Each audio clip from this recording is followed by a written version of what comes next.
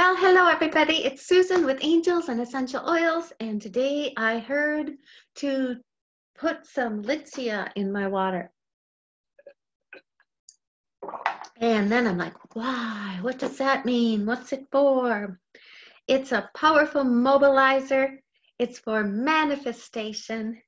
It's especially helpful in encouraging individuals to follow through on their inspirational promptings. So, if that's you, if you've been prompted to bring some gifts to the world, to share your intuitive gifts, I, for those of you that don't know me, I'm Susan Elizabeth Reis at joyfulpossibilities.net or susanelizabethreis.com. And I play with the angels, I play with the oils. I open my mouth and angel songs come through. I can pull a card and we can hear different something from from one angel sounds different than another angel so today, the card I want to share is from Zadkiel. And Zadkiel, if you tune into these more often, you're going to see they sound different. But Zadkiel, this is all about teaching and learning. Have you been asking to teach how to share your intuitive gifts with the world? Have you been asking how to create income doing it? Have you been asking how to have clients show up? These are some of the things that I was asking. And then now I've been so grateful to be able to share that with many others who are able to share their gifts with the world now. So um, keep an open mind, learn new ideas, then teach these ideas to others. So if you're finding your way to here, uh, everything's kind of in divine order. You just, out of all the things out there that you could see, you found your way here. So if you feel that you have, um, would like to talk about creating, um, sharing your intuitive gifts with the world and creating a career doing it, then let's talk. Let's just have a talk, private message me let's find a time to just chit chat, see what the angels have to say. anyway, um, today the angels have to say, keep an open mind, learn new ideas. So I have a message that comes through in song. And drink a little more Litsea. And the, right now, a lot of the messages are coming through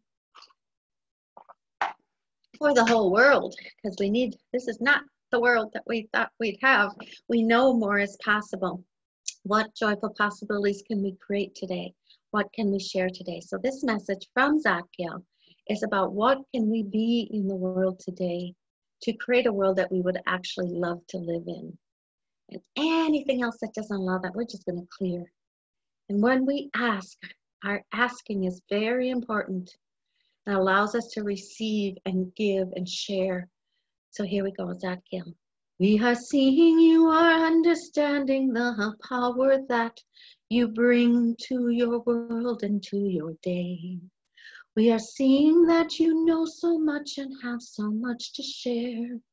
What is in your way? We are hearing that your heart is open up and now will just seem to explode.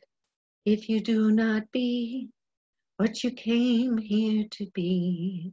If you do not share for others now to see, your joyful energy creates joyful possibilities and a world in which that you can simply shine.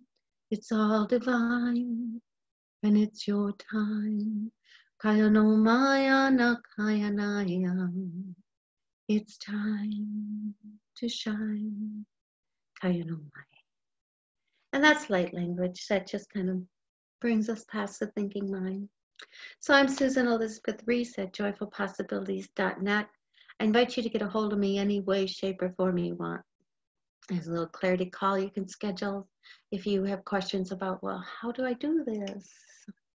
You know, if we want to talk about ways to work together, um, private message me, schedule a call. I look forward to talking to you soon. Have a wonderful day.